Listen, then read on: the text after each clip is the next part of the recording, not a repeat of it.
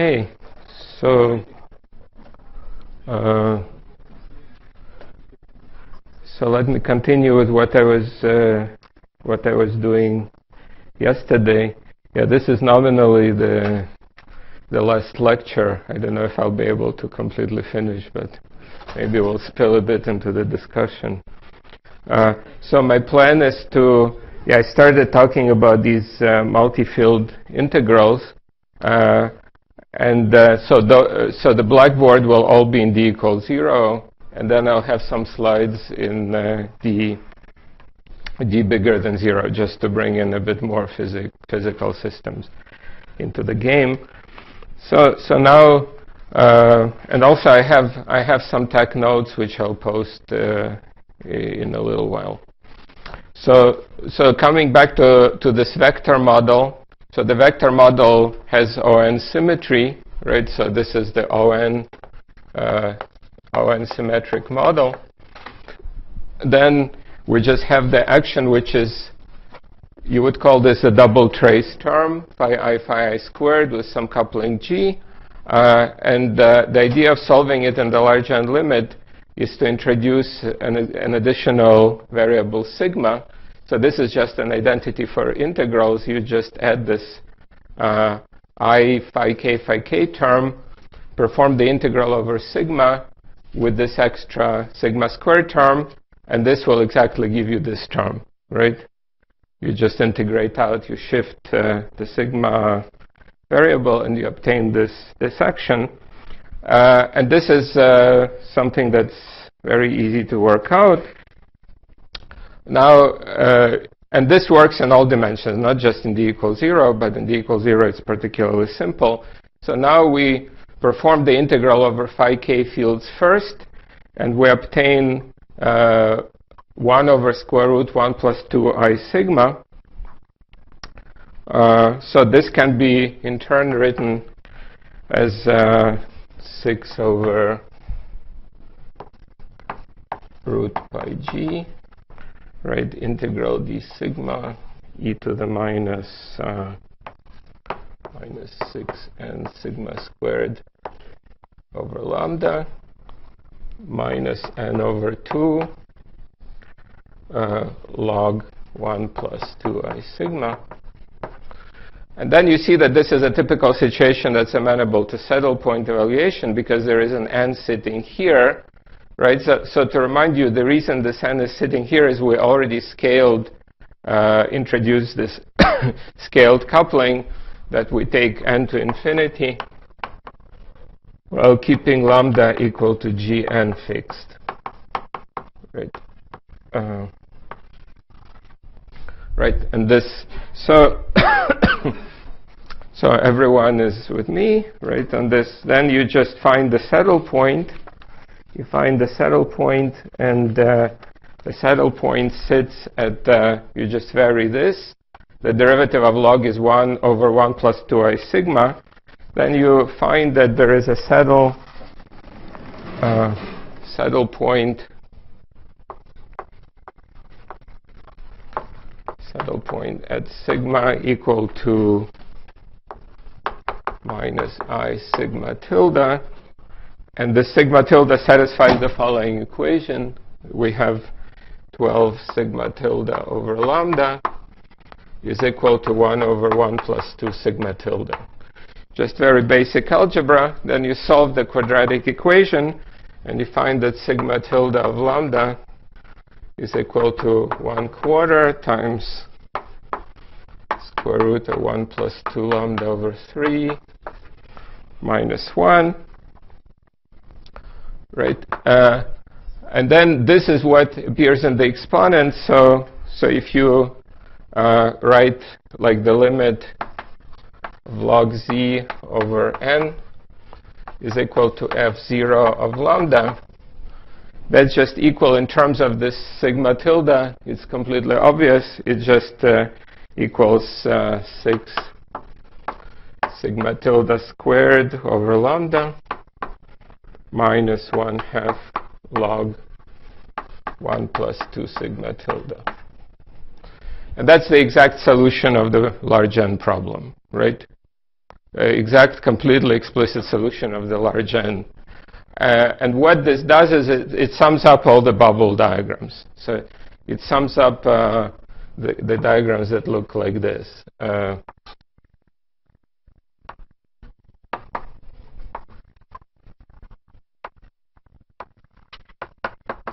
Etc. This is what we're summing, and this is the explicit sum.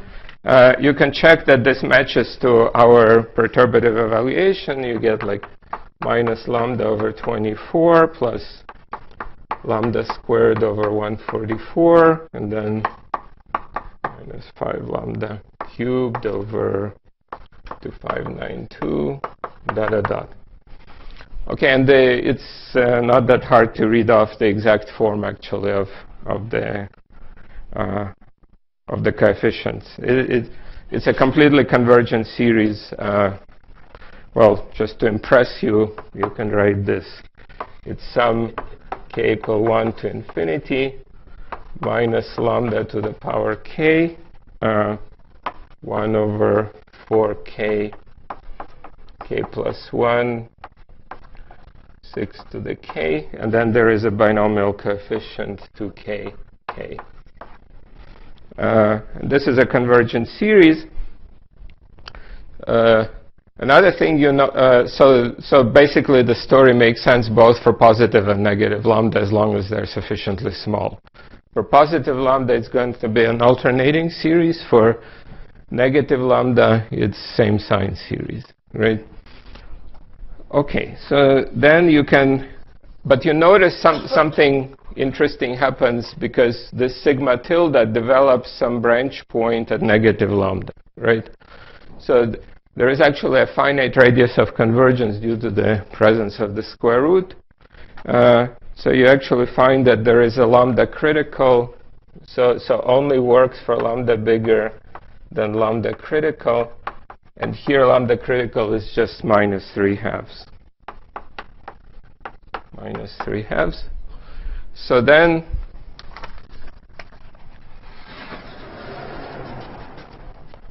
oops. Uh, oh.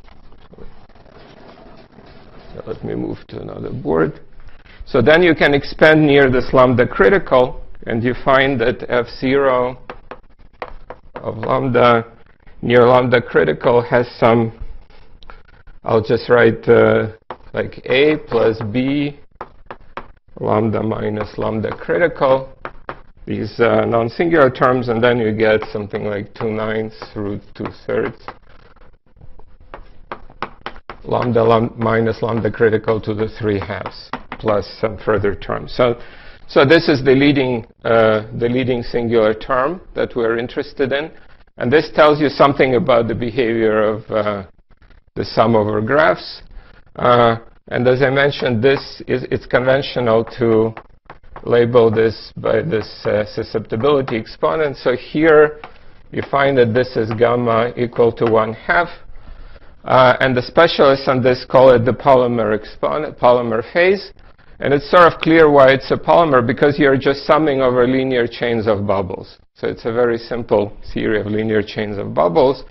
So, so So this is how people in the 70s were solving polymer theories and, and so on. Okay, so just, uh, just to entertain you a little bit, uh, this, this type of solution with the sigma field, I think Juan already discussed this, works above uh, in any dimension because you can always integrate out phi field at the expense of a determinant. Uh, so this solution is widely known for these vector theories.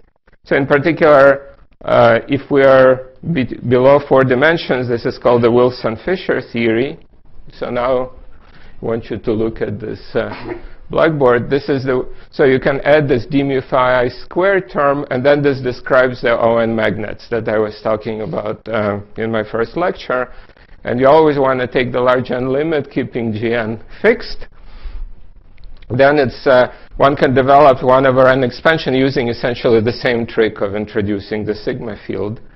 And then you obtain the following 1 over n expansions for various operator dimensions. So here, phi is just uh, delta phi is phi i. The operator s is just phi i squared, phi i, phi i. Okay, and the operator t is the tensor operator, which is phi, phi i, phi j, uh, minus, uh, 1 over n delta ij phi squared, uh, phi k, phi k. So it's just traceless, uh, traceless symmetric tensor. And then uh, uh, this takes some work to develop. Actually, people know these results not just in d equals 3, but as a function of d. And you can then compare them near four dimensions with 4 minus epsilon expansion. So you get these explicit numbers. Uh, it turns out that the 1 over n series is not great numerically for very low n. So for example, if you try to apply this to the physical irrelevant systems, which is n equal 1, the Ising model, or n equal 3, the Heisenberg model, uh, the 1 over n series is not so great because if you actually write out the, the coefficients, you find that del, delta phi is 1 half plus something like 0.135 over n minus 0.097 over n squared. And then already the n cubed term is huge. So, that's characteristic of these asymptotic series that the behavior of the coefficients tends to be not so good once you go to sufficiently high order. Uh, and uh, even if you truncate to the very first term, you don't get a very good approximation. Uh, so for so for n equal 1, for example, you would if you just keep these terms, uh, keep uh, three terms for n equal 1, gives uh, something like delta i equals 0.538. But the exact answer is 0.518. The exact uh, 0.518. So the, uh, the moral of the story is that large n expansion does not work so well for n less than 7 or so. And this was actually one of the big reasons why Wilson and Fisher resorted to this 4 minus epsilon expansion. If you, if you read the Wilson-Kogut review, they start with this opening sentence that, of course, 1 over n expansion is great, but for this theory, it's just not numerically very nice for low n. Uh, uh, so, so basically, there are other techniques. Uh, so how, how are we going to test the one of, yes? Is there any reason from like the get-go that we could have found that the concept would be not this Uh,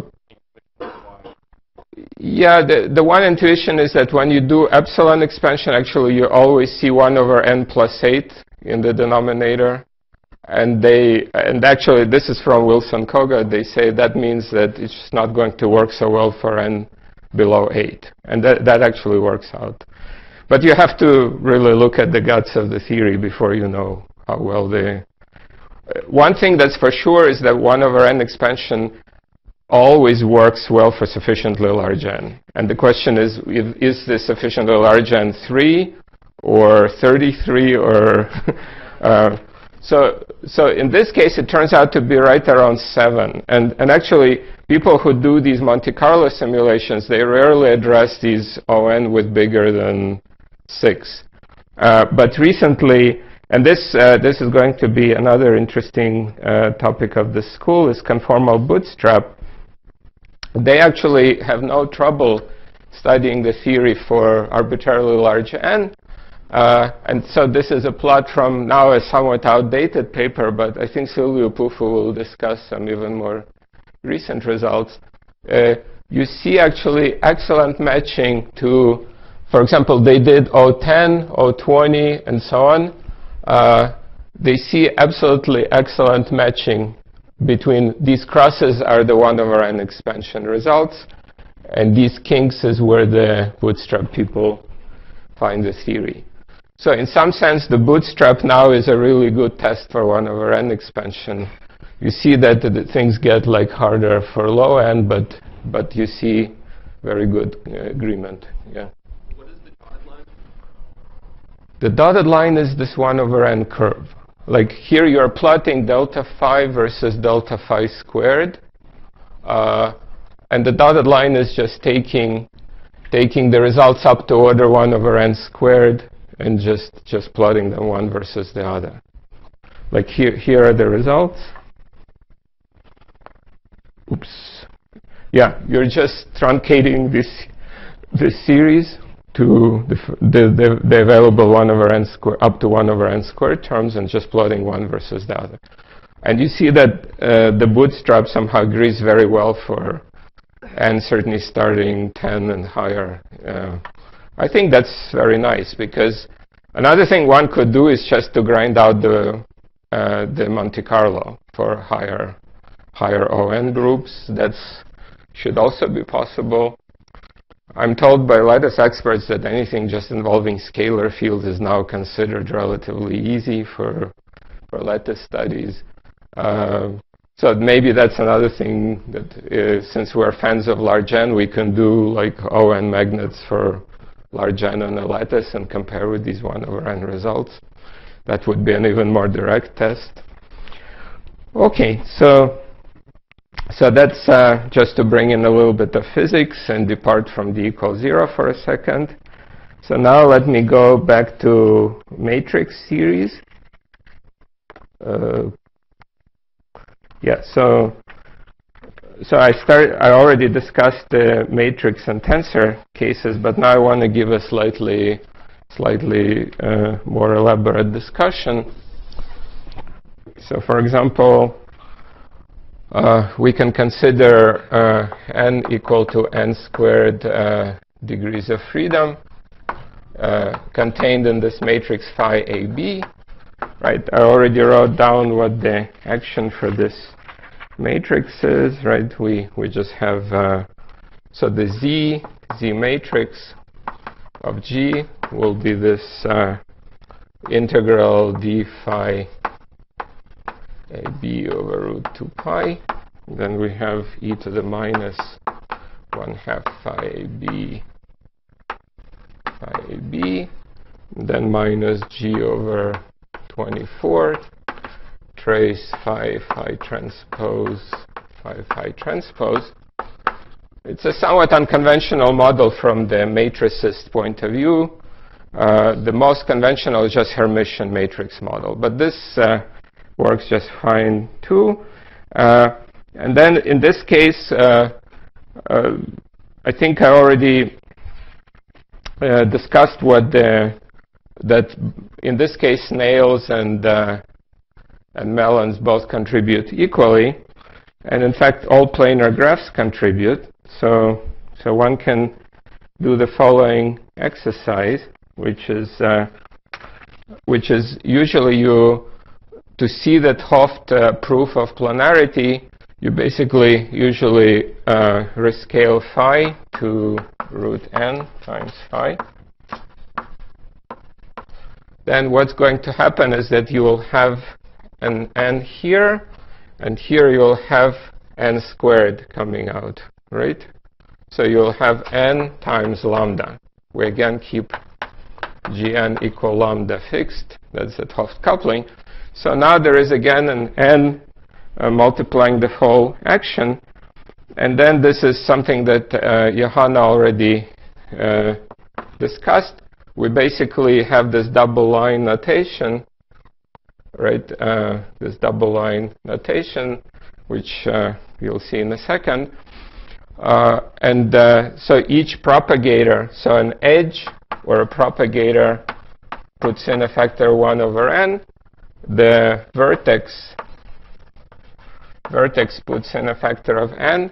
And then there is a crucial fact that every time you have a face, you have an index loop, right? So you have an index loop so a face, uh, so here there is n times lambda, but we don't care about lambda. Lambda is something of order 1, so we're just counting power of n. And face puts in a factor of n as well, so the net counting factor will be n to the power v plus e minus f, and that's just the Euler characteristic. So that was Hooft's great discovery, one of his great discoveries. And chi is uh, right? Chi is equal to 2 minus 2g, right? Where g is the genus of the surface. So, so you see that the leading, uh, so, so when you look at the expansion of log uh,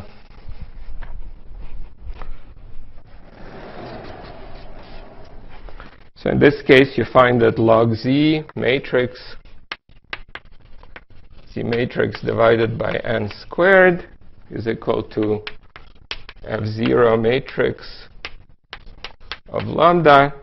Then you can have a power n minus uh, 1 times f 1 half uh, and so on,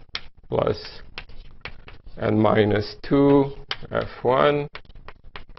And this is genus, so this label is the genus. So this is G equal to 1 half, which is uh, like a S2 mod Z2. It's an RP2, real projective plane. Uh, so it's a non-orientable surface, but this one is just a torus. So this is G equal 1, which is just the torus. Uh, in the case of Hermitian matrix model, this term does not appear and everything walks in powers of n minus 2. Uh, but here it's very easy to see. And, uh, and if you just explicitly evaluate graphs, you do see corrections of order 1 over n. It doesn't just give you 1 over n squared corrections. Okay, so now if you look at, so how are we going to find this f naught of f naught matrix? This is a sum over planar graphs. So this is sum, sum over vacuum planar graphs. So in this particular uh, case, there is a method which rather strongly depends on having d equal 0, which was uh, introduced in a very beautiful paper by Brézin, Itzykson, Parisi, and Zuber. So it's uh, the BIPZ solution of this uh, one matrix model. Okay, so let me explain. I assume some of you have seen this, right? Uh, yes, no? A little bit. okay, I'll, I'll try to explain how this works. Yeah, this is a 1974 paper. It's very soon after 't Hooft. Uh, uh, so 't Hooft uh, explained why planar graphs are important, and then uh, they, being very strong in techniques of mathematical physics, immediately realized that there are some simple matrix, so-called matrix models or simple matrix series, which are exactly solvable and realize this 't Hooft solution. And basically, so you have this n squared degrees of freedom, but there is a reduction to n eigenvalues, redu effective reduction to n eigenvalues. So you, you basically just write this matrix phi as some left unitary matrix times kappa times right transpose. And this is just kappa is the diagonal matrix of eigenvalues, namely kappa 1, kappa 2, dot, dot, dot, kappa n. So, so, and these are just real, uh, kappa i are real. Okay, and then, uh, then you, what happens is that uh, the you can, in the large n limit, uh, the, these eigenvalues, um, uh, you can basically integrate, uh, uh, first of all, you can for any n integrate out these angles and write the following expression that z, z matrix of G is equal to product over A, integral from minus infinity to plus infinity d kappa A delta Often this is denoted by lambda, but I already reserved lambda for 't Hooft coupling, so I invented this kappa. Delta squared of kappa. And then you have e to the minus, uh, and that the weight is just e to the minus sum uh, from 1 to n. uh, kappa i squared plus g over 24 kappa i to the 4. So this is uh, called Dyson gas. So what is this delta? Anyone know what this delta is? Van der, Mo Van der Monde determinant. Van der Monde determinant. So delta of kappa is just a product uh, i less than j kappa i minus kappa j. Okay, and what this, so when you exponentiate this, this gives you a kind of logarithmic repulsion forces between eigenvalues. So this potential for wants them to be, it attracts them to the origin, but they don't go on top of each other due to these logs that you get if you exponentiate. If you write this as e to the 2 log delta, so you get a kind of, uh, so then you introduce uh, the eigenvalue density,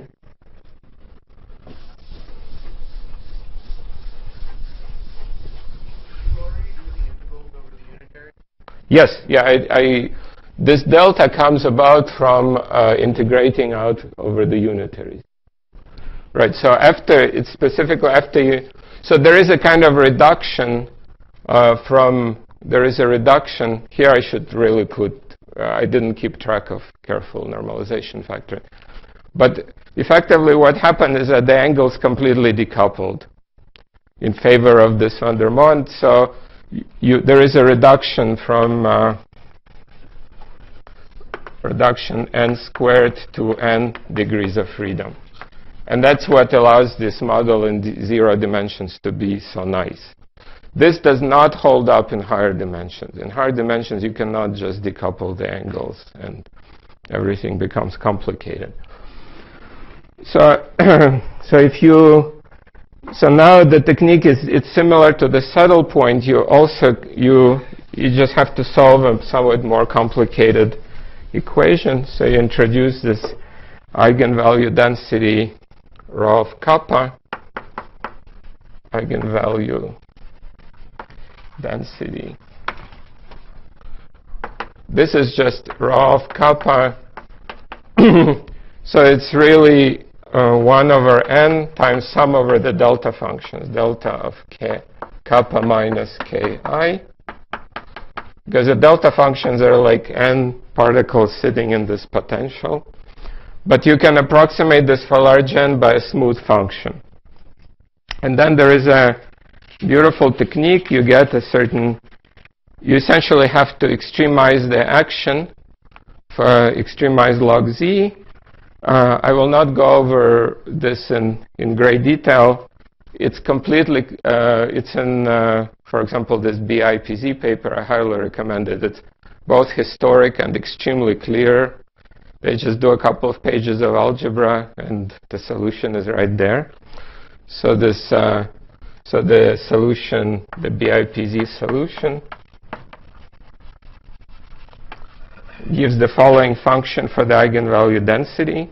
Rho of kappa is 1 over pi 1 half plus lambda over 6 times a squared of lambda, which I will define in a second, plus lambda over 12 kappa squared times square root uh, 4 a squared minus kappa squared and then a squared of lambda again has this very simple square root structure square root of 1 plus 2 lambda minus 1 so this is also the same function a squared so this generalizes this famous Wigner semicircle law which maybe you have seen so for lambda equal 0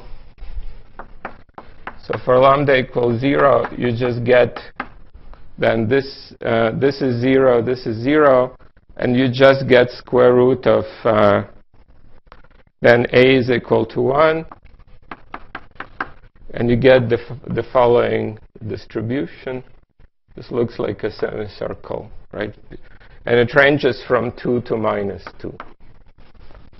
the way it's normalized. Right? This is just this classic Gaussian ma matrix model that Wigner was solving even in the 50s. Because uh, the, the, idea was to approximate the energy levels of complicated nuclei by, by these distribution of eigenvalues of a Hermitian matrix.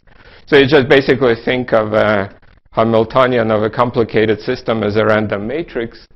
And the simplest thing is to say it's Gaussian distributed, which removes this term. Then you get the semicircle law. But once you include lambda corrections, there are some changes.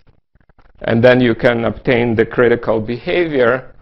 So the critical behavior is the one that I, I was discussing last time. That's what happens if you are making these planar graphs to be large. Right? Uh, so, so then you see that it essentially comes again from the square root branch cut contained in this a squared of lambda. So now you see that lambda c. Oh yeah, yeah. So then this row determines the uh, what we need is this log z matrix. Uh, yeah, I already wrote down this f0. So, the, so what you find is the following, that f0 of lambda in this matrix case has a very simple expression. When you plug in the eigenvalue density into the log z, you find that it's just equal to 1 over 24 a squared minus 1, 9 minus a squared minus 1 half log a squared. So it's quite similar to what we had in the vector case. It was, again, some kind of polynomial thing in the log, uh, log piece. And then you can start expanding this for small lambda. For example, you get minus lambda over 12 plus lambda squared over 32 and this is explicitly checks out against planar perturbation series. But then the real value of this is that it buys you the, solution to all orders, and in particular the leading singularity. So when you when lambda goes negative and approaches this lambda c, right? So you see that this lambda c is equal to minus 1 half, just where this branch point is located, you see that uh, f0 as lambda approaches lambda c behaves like this. So it will be like a plus b lambda minus lambda c plus c lambda minus lambda c squared. And then finally you obtain the singular term lambda minus lambda c to the 5 halves. And this is something that caused a minor revolution in uh, our field uh, around 1988 or 89 because this actually agrees with Liouville's solution of quantum gravity. So this, this is a one, one uh, way to obtain the two-dimensional quantum gravity as an exactly solvable system. And you see here the big difference, right? In that case, we saw lambda minus uh, lambda c to the 3 halves, so it differs very much from the vector model, right? You see that in this case, in, for the vector model, we had 3 halves, and that was the polymer behavior. This one is something totally new. This corresponds to this gamma equal to minus 1 half, and this agrees with uh, this is characteristic of 2D quantum gravity. And there are various ways to check this versus continuum calculations, but, but this is essentially uh, the story. And you see a very pronounced difference between sum over planar graphs and sum over bubble graphs in, in d equals 0. Okay, now just to entertain you a bit with some slides. Uh, so, so, so the 't motivation was, of course, uh, SU3 gauge theory. In 1973, everyone became convinced that that SU3 gauge theory describes strong interactions. But it was already then clear that it's very hard to solve this theory because it becomes strongly coupled uh, in the infrared. So 't Hooft uh, whipped out this amazing paper where he said, let's expand in 1 over 3, right? Uh, let's pretend that 3 is large and, and uh, work out this uh, 1 over n expansion for QCD. And he was motivated by SUN gauge theory. So as I mentioned before, so, so in the case, so for him, these are just the gluon, gluon lines. And this is the three gluon coupling with G Yang-Mills. And since each gluon is in the joint representation, you represent it as a fundamental and anti-fundamental. So hence you get these orientable graphs because each propagator has these double arrows. And then you see that the index loop gives you a factor of n, so G Yang-Mills squared times n has to be held fixed. And that's uh, essentially how this story works. So now uh, something I worked on a lot in the early 90s was this matrix quantum mechanics that's uh, above d equals 0 but still okay. It's a d equal 1 system which is still exactly solvable. And this was al also shown in this BIPZ paper. So in the Euclidean uh, quantum mechanics, you, you, you have an extra dimension x, this is the Euclidean dimension, and for example, this kind of cubic potential. And uh, the whole argument for planar graphs, which I exhibited, uh, uh, works out. You get the sum over orientable surfaces. If you're interested in details of that solution, I wrote a review uh, back in 91 about this. Uh, so um, it's very similar. Everything reduces to eigenvalues. In fact, that solution is even simpler than this because eigenvalues just act like free fermions in that potential. There is a, but the moment you go above d equal 1, all hell breaks loose and you can't solve it anymore. Even in d equal 1, there are some complications associated with the angular uh, sector with angular degrees of freedom if you're interested in it. But but the singlet observables are all exactly solvable. Uh, so now, uh, in that case, we had these discretized random surfaces, but embedded in one dimension. So for example, if you think about these dashed lines, they're just the Feynman graphs of phi cube theory. And think about the so-called dual lattice. The dual lattice is where you take the Feynman graph and just put a, a, point at the center of each face and connect them up. And then you see that you get a lattice made out of triangles. And this is exactly what this discretized quantum gravity uh, is. And you see that you can mimic geometry by this because if there are six triangles that meet at a point, then the point is flat. But if there are fewer than six, it has positive curvature. If there are more than six, it has negative curvature. So you're summing over these models where curvature is implemented at places where triangles meet, and, uh, and everything basically works nicely. Okay, so now, uh, so this model, a lot of people worked on it. It, it gives you a kind of model for two-dimensional string theory, uh, or people also call it C equal one matrix model. Maybe some of you, I know some of you are working on this here.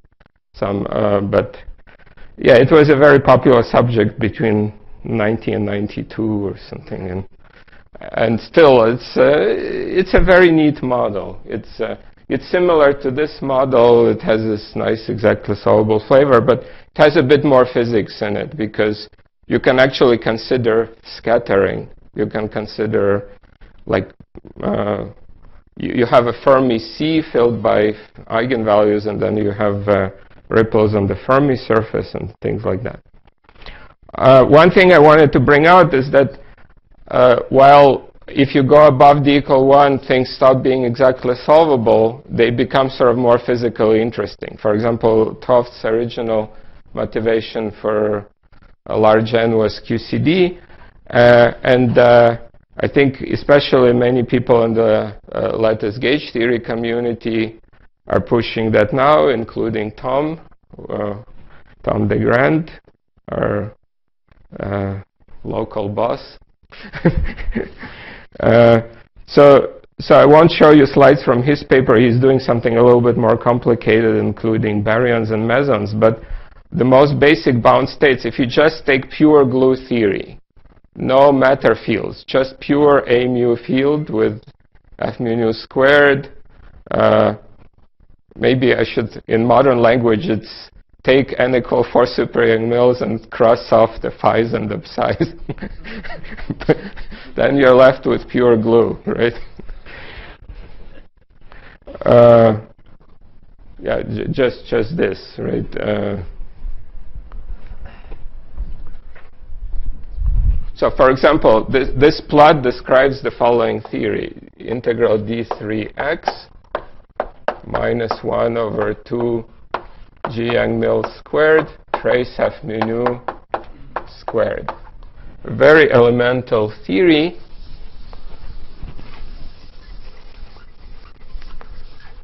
And just to make life easier, it's, uh, it's three-dimensional. So, so actually, g Yang-Mills g Yang-Mills squared has dimensions dimensions of mass. Uh, but still, confinement is a non-trivial phenomenon in this theory. And in fact, Feynman, in later years of his life, he really, really wanted to solve three-dimensional gauge theory analytically. He wrote some papers on that. so I just wanted to show you evidence that in this theory, again, we... So what would you expect on general grounds? You basically expect that the masses of the bound states, so if you look at the mass masses of the glue ball, for example, ma masses of uh, bound states, they will all be of order G Yang-Mills squared n. Just on dimensional grounds, times some pure numbers, times some number. And the goal of lattice gauge theory is basically to compute this number. Uh, and uh, but the but the 't scaling predicts the the presence of this factor of n.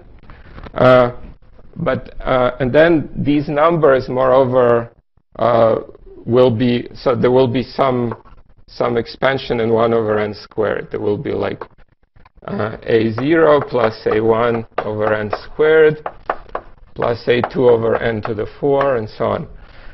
And uh, so Michael Teper has worked on this for many, many years. And they obtained, uh, so this is one of the more recent papers. It's a plot of some dimensionless ratio, like the masses of spin zero glue balls, divided by square root of the string tension. The string tension is, uh, that's sort of one way of parametrizing it. Alternatively, you could just divide it by G Yang-Mills squared n. String tension is the tension of the confining string. Hmm? Oh, it's oh, sorry, sir. I'll, I'll correct it. it. It's it's a little. Yeah, I'll post this and uh, I'll correct it. Uh, but uh, you can find by these authors. What happened is that it's a this infringed on one. it's the number here. Uh, okay, so you see that it matches extremely well to this idea that there is 1 over n squared expansion. You they computed them for n up to 16. For SU16 gauge theory, they actually obtained results. And they're plotting it. So this is low n. They're plotting it ver versus 1 over n squared. And you see these nearly straight lines. But then they start curving a little due to admixture of 1 over n to the 4 corrections. So this is a really nice sort of uh, nice way to understand the extrapolation of 3D gauge theory to, to large n. And this is similar plot for spin 2 bound states. You see that there is more curving going on already for the lowest state. But the matching to this 12 scaling is still very, very nice and very convincing. So even when we cannot solve the theory exactly, it's still very useful to think. So the idea of this is that to while we cannot solve the large N gauge theory exactly, we from just doing simulations for finite n can extrapolate to the large n limit, and the values on this axis are exactly the, the large n results. And maybe one day someone will devise a better analytical approximation. It will have to match these numbers. In fact, people do, people keep working on this. So, so that's a very, very big, it's sort of original motivation, some of the original motivation for large n, but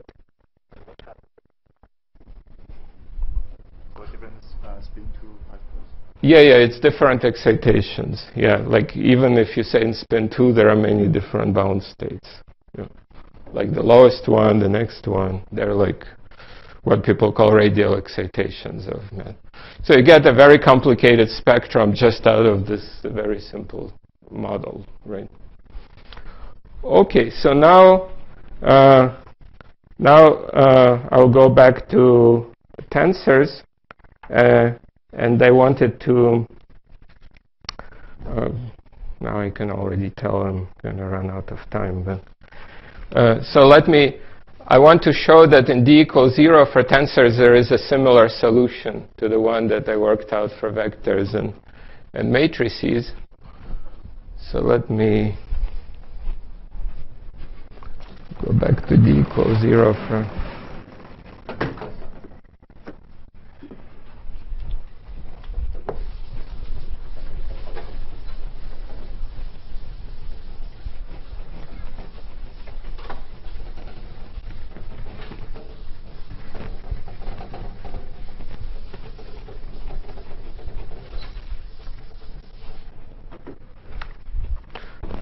Okay, so now our goal is the following. We take this, uh, what I discussed yesterday, phi ABC with ON cube symmetry.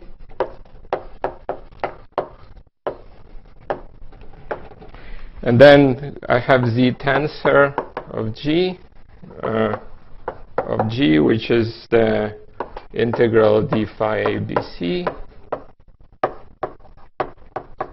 I mean, this implies the product. And then again, we have e to the minus 1 half phi ABC phi ABC.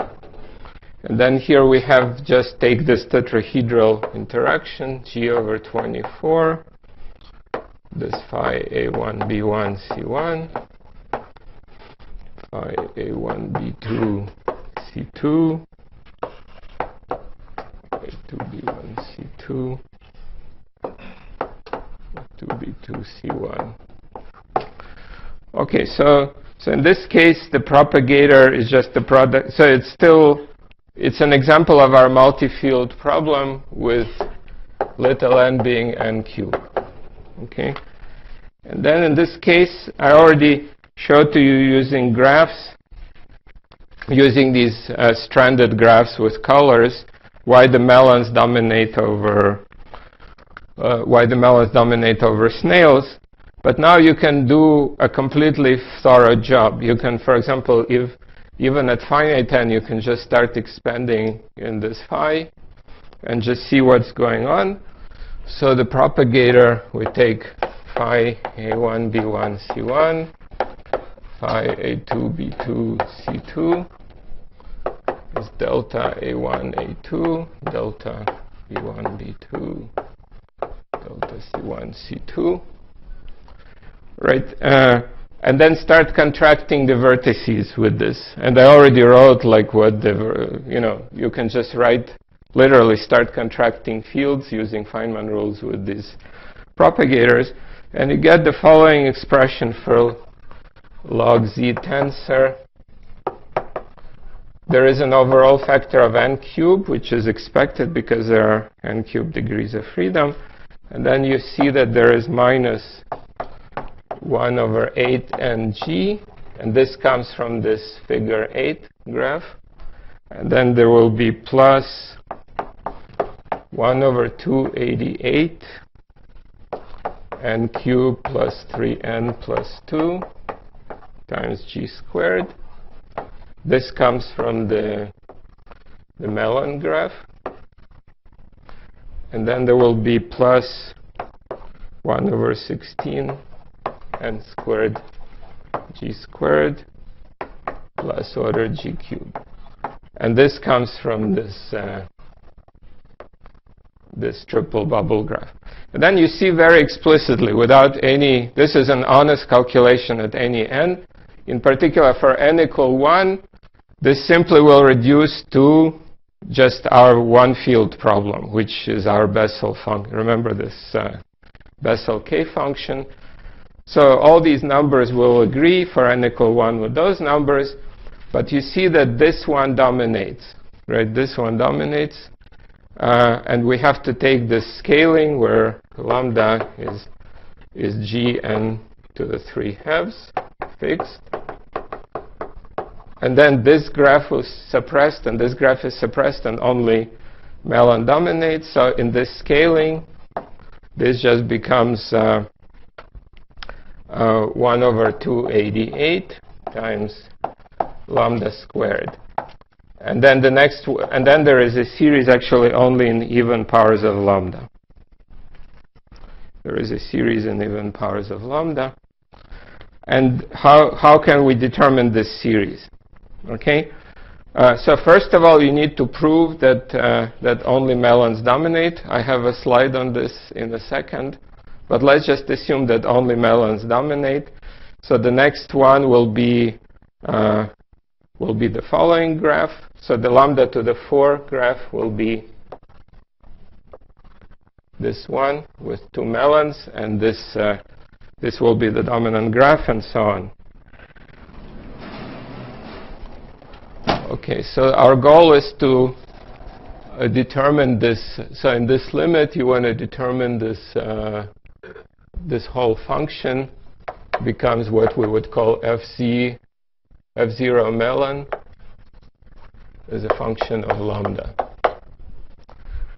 So amazingly enough, there is an analytic solution for it too.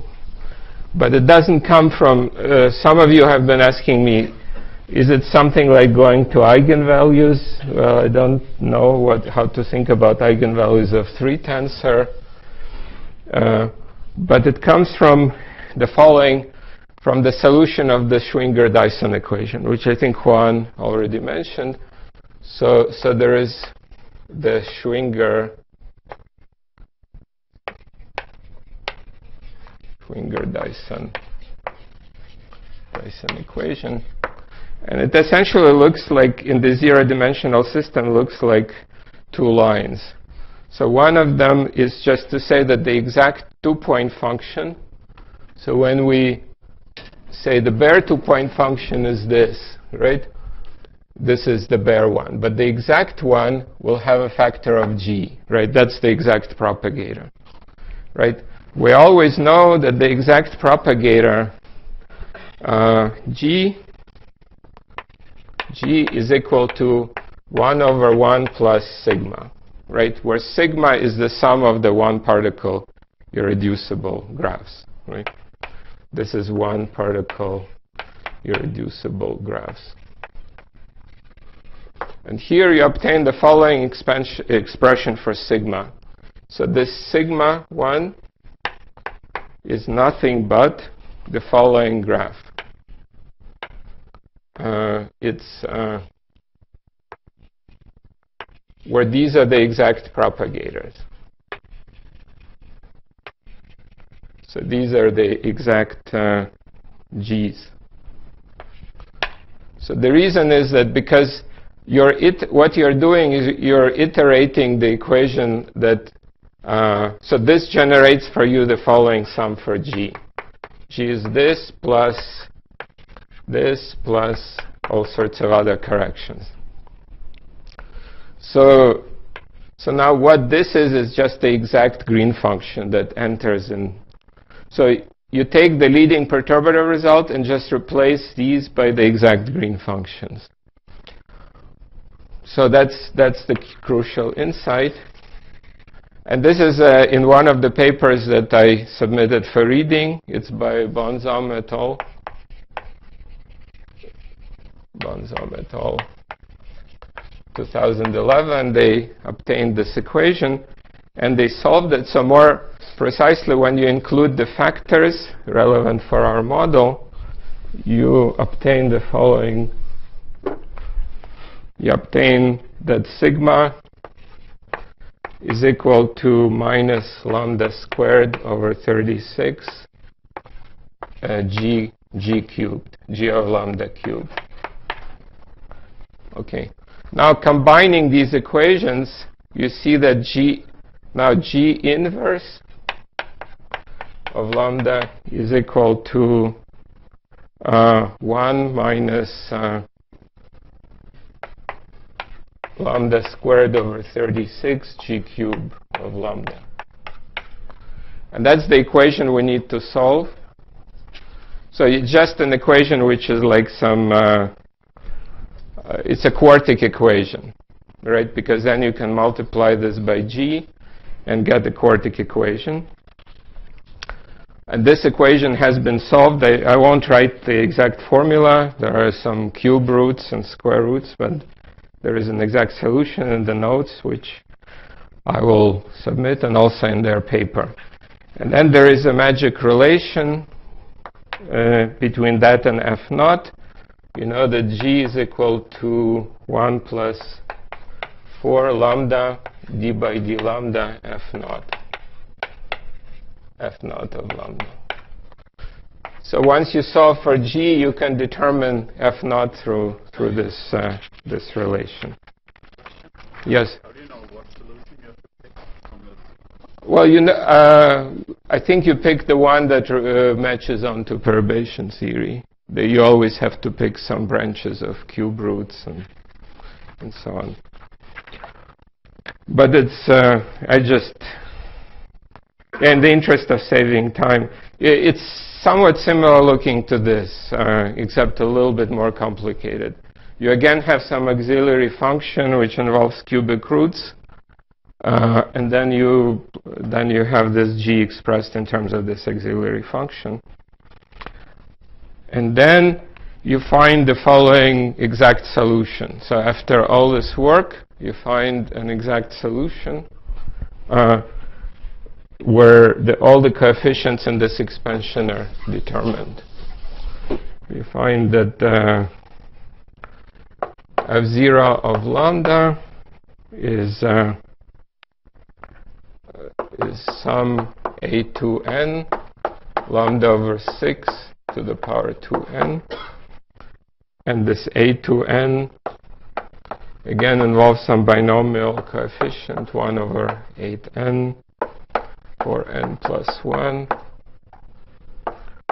for n plus 1 and just the binomial coefficient.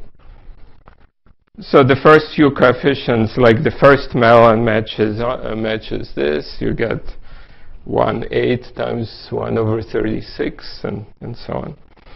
But the, the really fun stuff is that, uh, so this expansion is again convergent. And, and when you look at what f0 is doing as lambda approaches lambda critical, uh, you see that it actually has lambda critical squared minus lambda squared to the power 3 halves again. So it's again, so we have polymers again.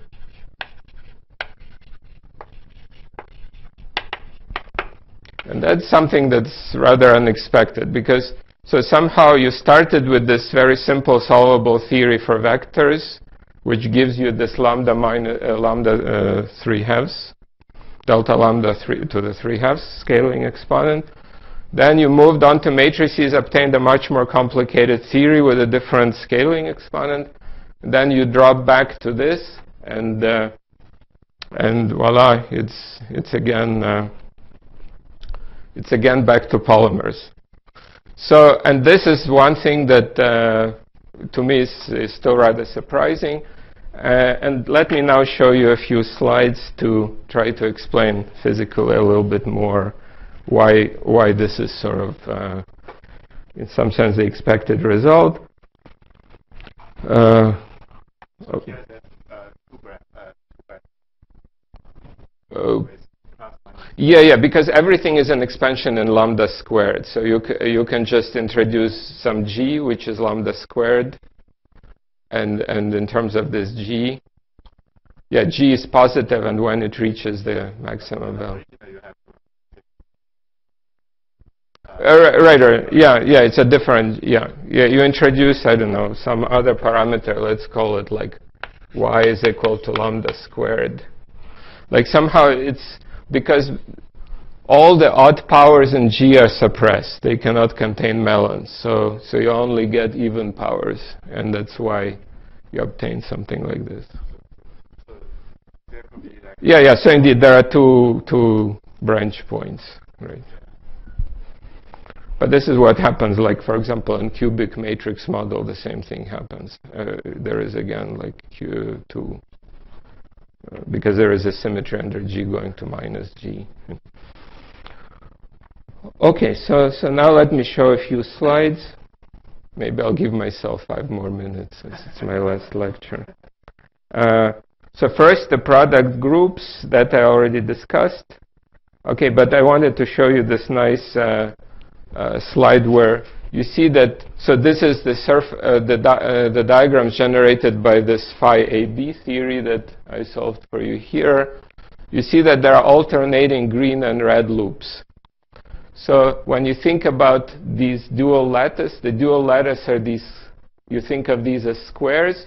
There are two types of alternate uh, vertices that alternate. The red vertex, green vertex, red, green. And then when you glue the squares together, you always glue red to red and green to green.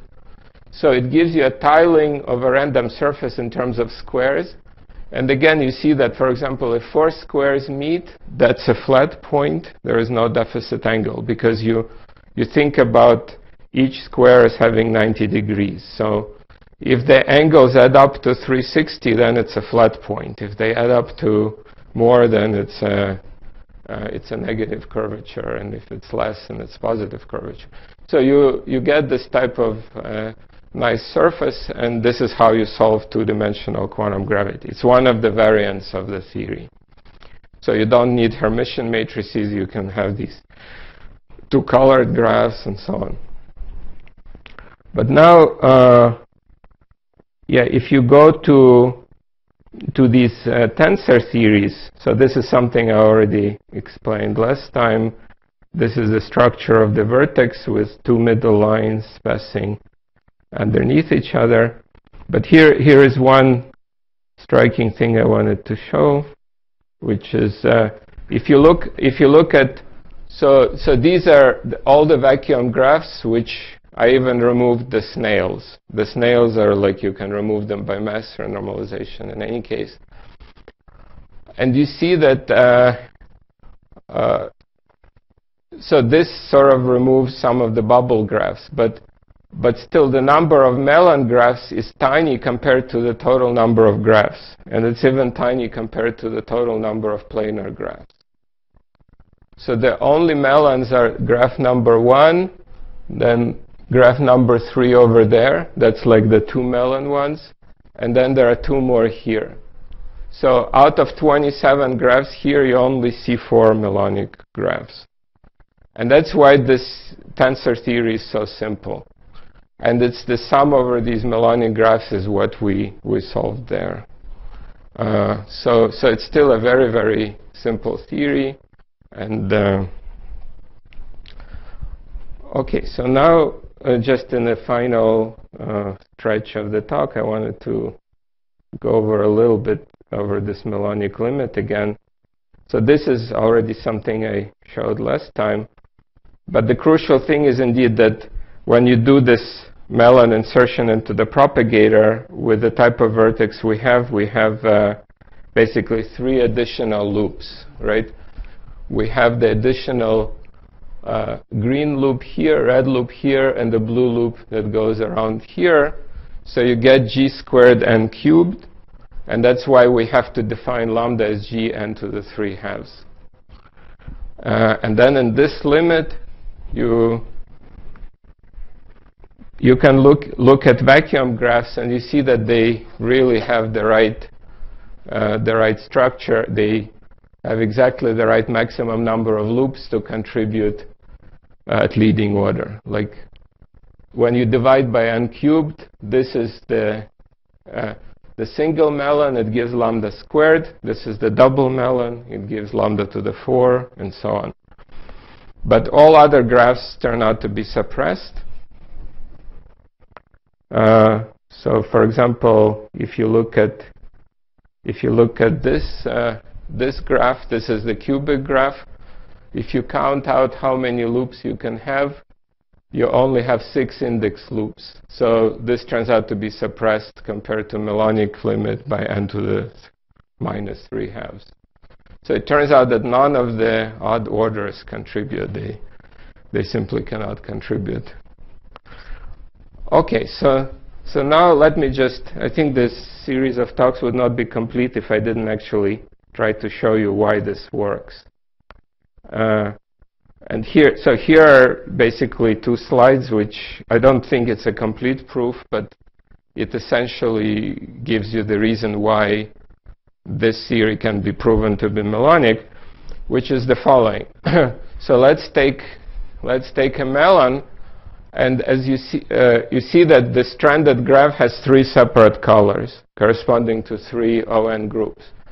Then suppose you just erase the middle color, like the blue color. Then you're left with the kind of graph you had in the matrix model, just double colored graph, uh, double line graph. But those we know how to count the topology of. We know how to count the power of n because we're equipped with this uh, Euler characteristic. Right? So what do we want to uh, count? We want to count the number of faces in this graph right? And the number of faces gives us the number of index loops. So, so then this is just the Euler theorem that f minus e plus v is equal to chi. So now we also have a constraint that the number of edges is equal to twice the number of vertices. This is just from the fact that we have a quartic graph, right? So, so having erased the blue line, we get that f Rg, the number of faces in the red-green graph, is just the Euler characteristic of the red-green graph plus the number of vertices. Okay? But the number of faces in the red-green graph is just the number of red loops plus the number of green loops. Right? This is just...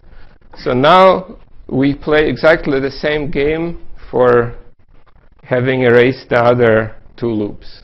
Uh, I mean, the other colors. So we can also do this counting of blue-green and blue-red. Right, so that's the equation on top. So now add them together, right? Then you get 2 times the number of blue plus the number of green plus the number of red loops, right? But what you're after is exactly this FB plus FG plus FR. That gives us the total number of loops, which is the total power of n. So just a trivial algebraic step. You, you say that f total is 3v over 2 plus 3 minus the genus of the blue-green minus the genus of the blue-red minus the genus of the green-red. Okay, now you're basically done because you see that as you increase the genus, you're always suppressing the power of n, right? Because what you have, what you're your goal is to find precisely this end uh, F total. Yeah, F total is, uh, so the total power of n is, is n to the F total, right? And F total is F green plus F red plus F blue. And you solved it. You basically see that F total is that uh, that uh, equation, 3v over 2 plus 3 minus g minus g minus g. So you see that this f total is bounded from above by 3v over 2 plus 3, right? So the maximal graph which dominates at large n is the one where the genus of each of this double line graph, where you erased one of the colors, is 0. And that's exact, so you cannot beat that. So the maximum power, therefore, is exactly n cubed g n to the 3 halves v. It's just, yeah, so n to, right, you see where this comes from, right? Yeah, it's g to the v uh, so the power that we get so the, the weight of the graph will be g to the v uh, n to the f total. And this will be g to the v. And assume that all uh, that you have f total, which is maximal, will be n to the 3 uh, plus 3v over 2. This is exactly n cubed times uh, uh, times g g n to the 3 halves to the power v. But this is exactly our lambda, right? So, so you see that this is n cubed lambda to the power v. So that proves it, basically. So you cannot beat this. Uh, there will not be any graph that exceeds this n scaling. And we saw in practice how, how just by grinding out these combinatorial factors it works. But this is the kind of proof you want to all orders. So, so this proves that lambda, when this is held fixed, this gives you the absolute maximum uh, scaling, right? Because f total is bounded. The trick is that g can never be less than zero, right? So, so positive g always gives you submaximal graphs. And so it's a very beautiful proof. I think it was constructed by Gurau and collaborators back in 2010 or something like that. And here we're adapting it to a somewhat simpler model than the ones they constructed, which is the ON cube model. I think ON cube is just um, maybe this one of the simplest tensor models where things fly. Then why those are melon? It, that there is a tiny bit more combinatorics to prove that the ones that dominate are all melons. Like that if indeed you make genera zero in each one, that uh, it's a little bit more elaborate, but you can prove that then the, you basically prove that this is the dominant term, you, nothing can beat it, then I omitted another sub-lemma that these are all melons. You basically need to show that there are some length to loops and uh, it's a little bit more combinatorial, but that, that basically proves it. And then the, just in the remaining couple minutes, I wanted to flash the model in, in, in D equal one dimension, the quantum mechanical model, which is equivalent to SYK. So, so far, I solved the D equals zero model for tensors, at least formally, right? uh, in this large n limit. I think you heard a lot from Juan about the SYK model. And then the big uh, news was then Witten wrote down a quantum mechanical model that was in late October, uh, which used the elements of these tensor models, but was in 0 plus 1 dimension. So they tended to always work in 0 dimensions. And he wrote down this kind of model with uh, but this model as if actually has ON to the 6 symmetry. It has four different types of tensor fields, which can contain different indices. So it's a little bit involved, uh, but it does have this sort of basic tetrahedral interaction. But then in an effort to simplify the, it turns out that this model is not exactly equivalent to SYK it appears to be equivalent to one of the generalized SYK models that Gross and Rosenhaus wrote down. but then Tarnopolsky and I wrote down a model with just a single type of tensor, fermionic tensor, which is exactly like taking this uh, model for phi ABC and replacing phi by psi, and then doing it in in uh, 0 plus 1 dimension. so, so this is the, the specific quantum mechanical model that we considered. And then you can gauge it, gauge each of the ONs by replacing this derivative by covariant derivative. All that this is going to do, since these A's are non-dynamical, they're like Lagrange multipliers, is just going to truncate the spectrum of states to ON cross ON cross ON singlet wave functions. And this is, uh, uh, so th this I sort of wrote down before already on the blackboard that you can think of the this interaction as a kind of tetrahedron. So you can think of this, uh, this vertex as a kind of view of the tetrahedron from the side. Uh, and then you just work out the, the Feynman graphs and with these colorful propagators gluing the tetrahedra together.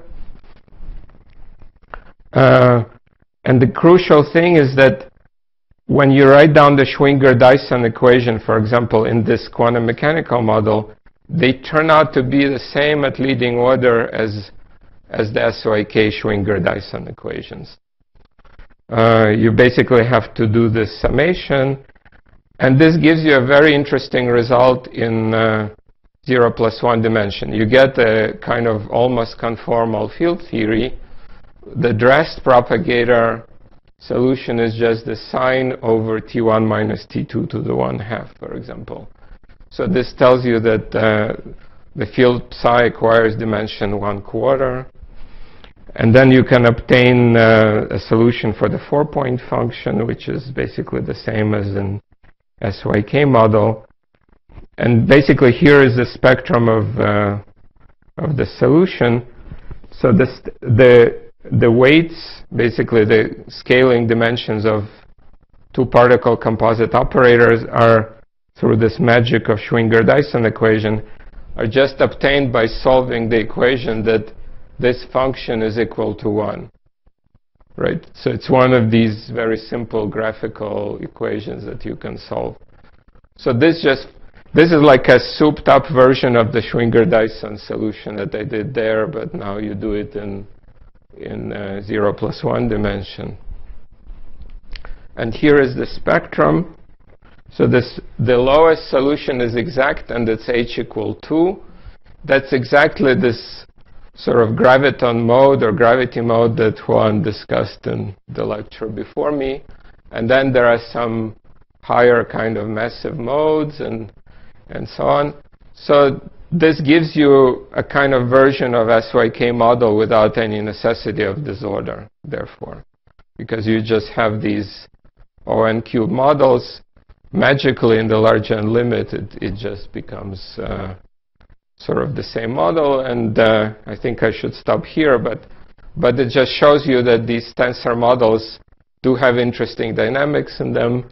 They also I view them as slightly better defined than the SYK model because you they have more symmetries. So, for example, you you have this ON cube symmetry. There is no randomness. You can gauge it. So that's uh, why it's attracting a lot of interest now. So I think I'll stop at this point.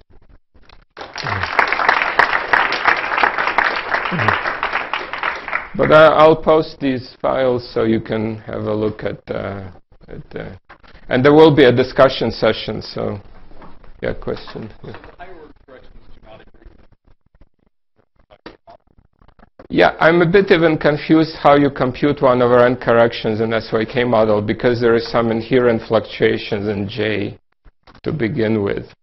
But indeed, they, they absolutely don't agree. Even just the powers don't agree because, uh, because here what, what, what the SYK, so the n of SYK is our n cube.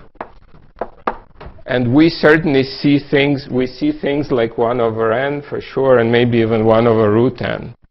So, so in tensor models, the tensors contain corrections like 1 over n, which is like 1 over n SYK to the 1 third, or perhaps even 1 sixth.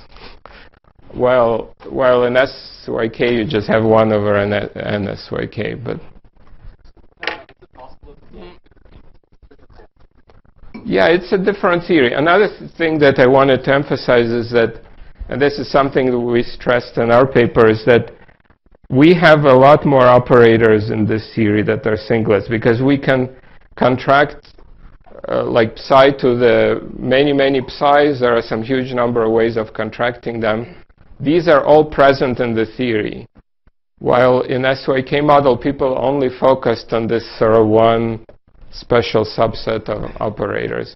I see no reason how you could ever remove these. So, so I think this tensor theory obviously has a huge number of additional massive states, and there should be bulk of stuff co corresponding to them.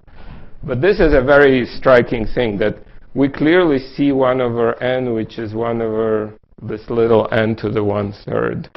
And they, so, so it's, so it seems like the same theory in the large n limit, but even that is not completely clear. For it agrees for some variables, but it doesn't agree for others. To me, this model is much more in the usual spirit of gauge gravity duality, because after you gauge it, it's just a gauged quantum mechanics model. Uh, while SYK is like a very unusual sort of random theory, a theory with random couplings. Uh, but they do meet for uh, through the Schwinger-Dyson equations. Yeah.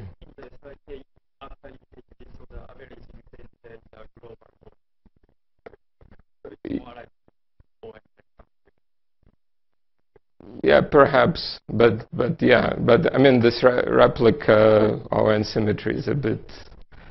Yeah, he and here the, the model does have more symmetry even in that case.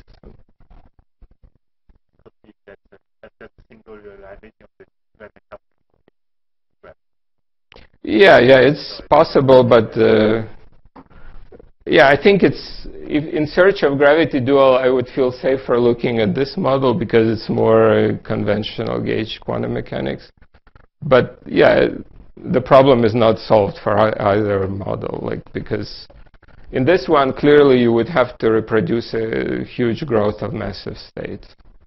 Uh, so it would be a pretty complicated gravity dual, I think. Yes.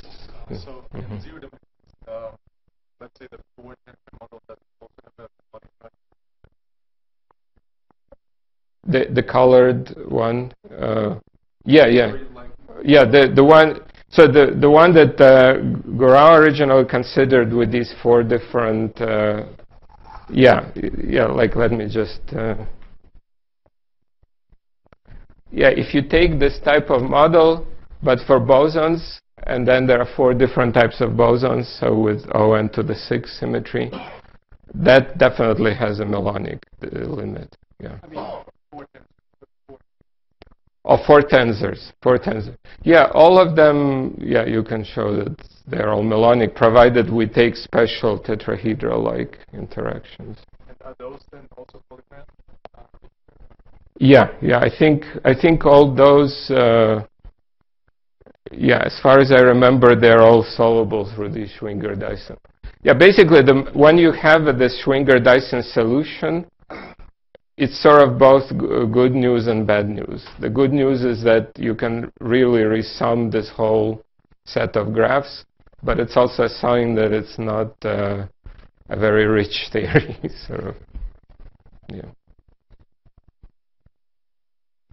Okay. I guess we're all hungry, so uh, I can certainly answer more questions in private.